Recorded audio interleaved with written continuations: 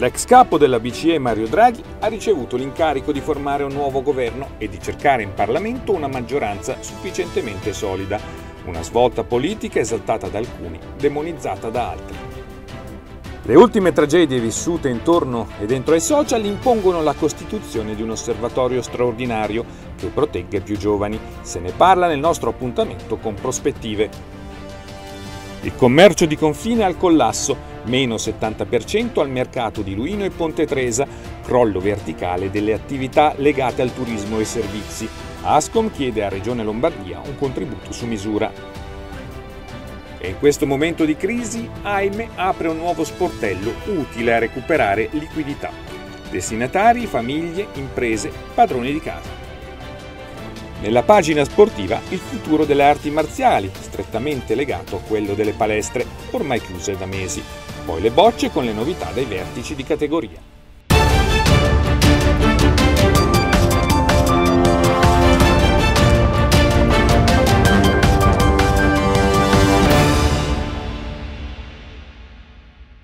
Buonasera. Incominciamo questa seconda edizione del TG di Rete 55 facendo un passo indietro e tornando all'ora di pranzo perché subito dopo mezzogiorno Mario Draghi è salito al Quirinale per ricevere l'incarico dal Capo dello Stato di formare un nuovo governo. L'ex presidente della Banca Centrale Europea ha accettato con riserva in attesa di incontrare le forze politiche e verificare la presenza di una nuova maggioranza presumibilmente allargata. L'avvento a Palazzo Chigi del noto economista, figura apprezzata e stimata a livello internazionale, rappresenta, comunque la si veda, una drastica sterzata dello scenario politico nostrano. Parliamo di attualità eh, rivolgendoci però al mondo dei social e al fenomeno del cyberbullismo che ancora come dicevo, di grande attualità, come ci mostra Chiara Milani nella sua rubrica quotidiana Prospettive. Il cyberbullismo è un fenomeno sempre più virale? Dopo l'assurda vicenda della bambina di 10 anni morta per una sfida su TikTok e in vista della giornata nazionale contro questo fenomeno, sabato 6 febbraio un panel di esperti discuterà delle varie sfaccettature di questo preoccupante trend sulla pagina YouTube degli alunni dell'Insubria.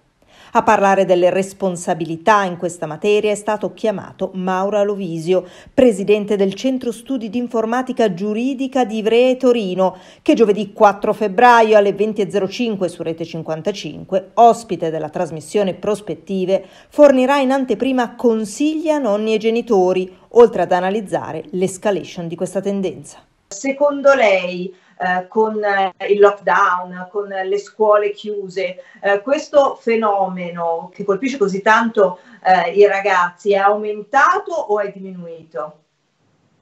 No, il fenomeno purtroppo è aumentato. È aumentato perché chi era fragile a problemi è peggiorato notevolmente. Inoltre i ragazzi sono a casa e quindi non hanno più gli spazi no, in cui sfogarsi, pensiamo allo sport e soprattutto non hanno più le figure di presidio, magari uno zio, no, un parente o altro, e quindi soffrono. No, sono dati che sono anche della neuropsichiatria infantile, sono aumentati gli atti di autolesione dei giovanissimi, che ricordiamo che tra gli 11 e i 17 anni la seconda causa di morte è il suicidio indubbiamente bisogna veramente fare questo lavoro di rete. Eh, tra l'altro, chi vive a figlio o ai nipoti, avrete notato che è in aumento anche un altro fenomeno che è il bullismo nei confronti dei, dei, dei docenti. No? Questa possibilità di avere lezioni online, abbiamo avuto dei fenomeni di intrusioni di soggetti eh, anonimi per diffamare e insultare altri ragazzi e anche l'utilizzo, la registrazione, divulgazione di video anche che dileggiano verso i propri insegnanti. Quindi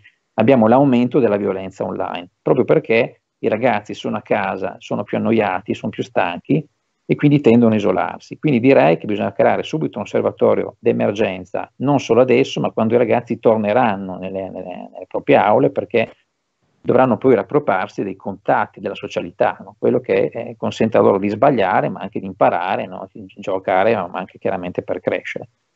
Ristori aggiuntivi per l'economia di frontiera. A chiederla a gran voce è Ascom Luino che invoca dalla Regione Lombardia un contributo straordinario per un tessuto commerciale al collasso complice la lunga chiusura delle frontiere ai turisti stranieri. Tra l'estate e il periodo di Natale, spiega il presidente Franco Vitella, abbiamo registrato 150.000 visitatori svizzeri in meno e un calo della clientela del mercato luinese pari al 70%. Restiamo nel campo dell'economia e parliamo di uno sportello per chiedere credito. Lo ha attivato AIME. Uno sportello per il credito, cioè per accedere a una liquidità di cui famiglie e imprese avvertono un crescente e angosciante bisogno. Aime Varese ha deciso di aprirlo proprio adesso, in un momento di fibrillazione politica, di crisi economica e di marcata incertezza prospettica. Vi si potrà rivolgere l'imprenditore che spera di aggirare le porte chiuse o le maglie strette delle proprie interlocuzioni bancarie, ma anche professionisti, singoli cittadini e padroni di casa in cerca di interventi strutturali, visti i ritardi che stanno rallentando il volano noto come 110%. Ne parliamo col direttore Gianni Lucchina, il quale insiste le associazioni devono adeguarsi ai tempi che corrono e attivare nuovi servizi. AIME non, non, si ferma, AIME ha messo in campo un'altra iniziativa, un servizio studiato apposta per le imprese, per le piccole e medie imprese, per gli amministratori di condominio e anche per i cittadini. Abbiamo aperto infatti lo sportello credito al quale tutti si potranno rivolgere per chiedere consulenze, per chiedere eh, informazioni, ma soprattutto per chiedere credito subito, anche a tutte le famiglie e le persone che intendono aderire all'ecobonus 110%. Uno sportello aperto presso la nostra sede, tutti il primo e il terzo mercoledì di ogni mese dalle 9 alle, a mezzogiorno. Parliamo ora di cultura. Sabato 6 febbraio il liceo classico Ernesto Cairoli di Varese celebrerà la giornata mondiale della lingua e della cultura ellenica. I dettagli. Subito prima che infuriasse la pandemia, gli alunni del liceo classico Ernesto Cairoli di Varese avevano vissuto l'ultimo momento di piena comunanza celebrando la giornata mondiale della lingua e della cultura ellenica davanti all'insigne filologo Franco Montanari. Era l'8 febbraio dell'anno scorso, in una quotidianità libera dall'obbligo delle mascherine anti-Covid, i suggestivi caratteri dell'alfabeto greco dovevano apparire ancora come segni indecifrabili a Martina ed Esosè, Oggi appassionati ginnasiali che non vedono l'ora di diventare protagonisti della nuova giornata mondiale della lingua e della cultura ellenica, in scena dalle 8.30 alle 13 del 6 febbraio, solo sulla piattaforma digitale di Zoom. La professoressa Criscuolo ci ha guidato in prima persona in questo tema della democrazia. La forma più evoluta di governo, secondo l'illustre politico ateniese vissuto tra il 495 e il 429 a.C. Pericle, che è l'interprete per antonomasia della democrazia. Se la grande bellezza della lingua greca e la forza del pensiero in essa racchiusa hanno già contagiato i più giovani studenti del Cairoli, gli insegnanti della scuola di Viadante ci mettono l'anima per proporre ai loro discepoli percorsi intriganti e costruttivi, come fa la professoressa Angela Romano con i miei alunni ehm, ho scelto come argomento eh, Santa Sofia, eh, la chiesa di Santa Sofia che come tutti sappiamo è eh, stata oggetto appunto di, di, dispute ed è tuttora non visitabile o parzialmente visitabile e Santa Sofia che invece era proprio una, eh, un monumento insomma, di tolleranza, di, di, apertura e naturalmente noi speriamo che possa eh, tornare ad esserlo. Siamo pronti per questo evento sabato prossimo a cui speriamo possano partecipare tante persone e, e noi ne siamo molto orgogliosi, l'abbiamo fatto con grande amore, speriamo che questo amore eh, si veda e anche per gli spettatori. Dai tempi antichi all'attualità il passo è breve e se gli studenti di Angela Romano celebreranno la cattedrale ortodossa di Istanbul, diventata recentemente moschea, una insigne docente di filologia bizantina, Lia Raffaella Cresci, impreziosirà la giornata dedicata, come ricorda il preside del liceo classico Salvatore Consolo, alla rinascita. L'argomento di quest'anno, palingenesia, quindi la palingenesi, il rinnovamento, è quanto mai attuale perché insomma è un periodo di pandemia, speriamo veramente che ci sia una sorta di rinascita. Avremo una lezione magistrale della professoressa Cresci, che è stata ordinario di filologia bizantina all'Università di Genova, eh, che parlerà appunto di Bisanzio e dell'importanza della, di Bisanzio e della cultura bizantina per la continuità e l'eredità della, della, della civiltà greca. Nel settecentenario della morte di Dante ci sarà spazio per ricordare il demiurgo della lingua italiana, ma il 2021 è anche l'anno in cui cade il duecentesimo anniversario dell'indipendenza della Grecia, come ricorda Nikos Frangos, presidente dell'Istituto Ellenico di Cultura. Molti non sanno che a questo evento che ha portato all'unificazione della Grecia, nel corso degli anni hanno partecipato tanti filelleni europei che sono venuti, tanti intellettuali, sono accorsi in soccorso della Grecia nella sua impari lotta contro l'impero ottomano, ma soprattutto ci fa piacere far notare, visto che in queste zone, qua a Varese, ci sono state molte battaglie dei garibaldini contro l'oppressore austriaco, che tantissimi garibaldini hanno combattuto in Grecia. Addirittura membri della famiglia Garibaldi sono andati in Grecia a combattere per la liberazione della Grecia. È stato Ricciotti Garibaldi, il secondo genere di Garibaldi, ad avere queste iniziative, ha portato con sé i membri della sua famiglia e ci sono quindi degli italiani che sono morti, si sono sacrificati per la libertà in Grecia. Deborah Banfi ci anticipa la nuova puntata di Varese in Rosa e ci parla di Elisa Molteni e del coraggio di andare oltre l'ostacolo. Sentiamo. Un racconto di fantasia che prende però spunto dalla realtà dalla storia di una ragazza che dopo un brutto incidente ha saputo affrontare ogni difficoltà con coraggio e determinazione, riuscendo a riprendere in mano la sua vita. Si intitola La runa bianca, il canto delle stelle, il primo romanzo della giovane bustocca Elisa Molteni. Prende spunto da ciò che è accaduto anni fa ad una persona che veramente eh, ad oggi posso dire che ce l'ha fatta, che è ancora qui e quindi il mio protagonista è veramente una persona forte, coraggiosa e assolutamente in grado di sconfiggere ogni male, ogni cosa brutta.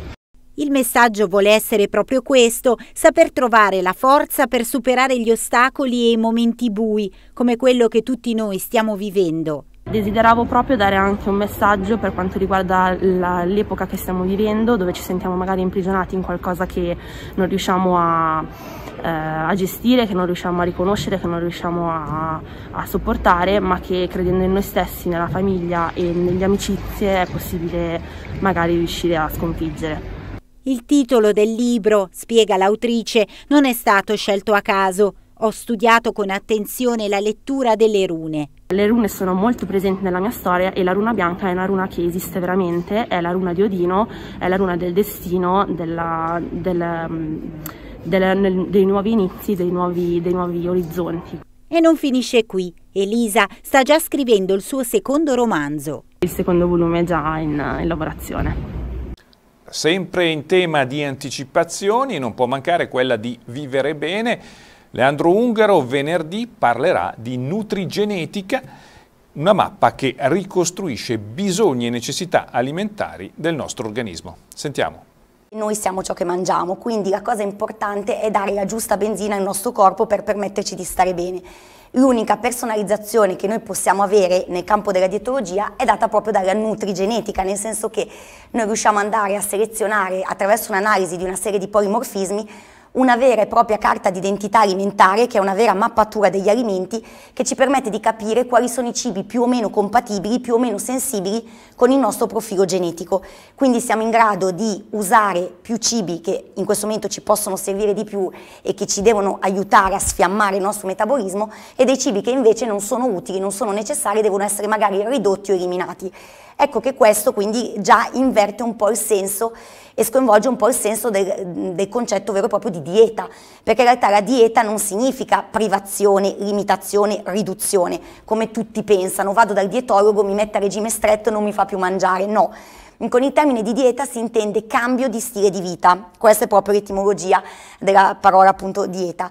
E questa è la cosa importante della genetica e della nutrigenetica, dare un cibo che sia il più possibile compatibile, quindi personalizzato con se stessi. Quindi il paziente che ti viene a trovare in studio si troverà in una forma differente dove chi comanda, tra virgolette comanda, non è il dietologo che ti prescrive, ti obbliga, tra virgolette, a mangiare certi cibi, ma è la tua genetica che ti chiede di mangiare determinati cibi e magari di toglierne altri. Quindi andando ad analizzare una serie di polimorfismi, con una semplice tecnica che è la realtà in PCR, noi abbiamo una serie di geni che sono on-off e sulla base di questi geni noi andiamo a elaborare una vera e propria mappatura e da lì l'elaborazione di un piano alimentare che è assolutamente personalizzato, proprio perché si parla di genetica. La raccolta porta a porta si colora di verde. Come? Ce lo dice Deborah Banfi. A Somma Lombardo prende il via il servizio di raccolta porta a porta dei rifiuti vegetali. Il servizio, spiega l'assessore Edoardo Piantanida, è a pagamento, in modo che ogni cittadino possa decidere se attivarlo in base alle proprie esigenze. Abbiamo un cambiamento diciamo, sulla raccolta porta a porta perché abbiamo aggiunto un servizio che è quello della raccolta dei rifiuti vegetali. La raccolta dei rifiuti vegetali sarà un servizio eh, diciamo, attivato a parte, quindi non, non, sarà nel canone della Tari e eh, avrà due tipologie di, di, servizio, il servizio di tipo annuale che andrà da febbraio a dicembre e il servizio invece ridotto da aprile a ottobre quindi questo tipo di servizio è attivabile mediante un canone ed è obbligatorio comprare, comprare il, ehm, diciamo, il portarifiuti, eh, il contenitore portarifiuti. Questa cosa eh, per chi l'ha già attivato lo scorso anno non sarà necessario comprare il, il ehm, contenitore ma soltanto l'attivazione del servizio e verrà messo appunto come, come detto a parte eh, perché non vogliamo penalizzare chi ad esempio abita in appartamento e non ha il giardino e quindi è un servizio attivabile solo da chi ne ha un'esigenza particolare. A tutti buonasera, il tempo di domani sarà molto nuvoloso salvo un po' di sole sulle Alpi al mattino, probabilmente asciutto soltanto rare gocce. Le temperature in lieve aumento, massime previste tra 6 e 8 gradi, mentre le minime comprese tra 3 e 5 gradi. Per il momento è tutto, ma fra poco c'è la pagina sportiva, state con noi.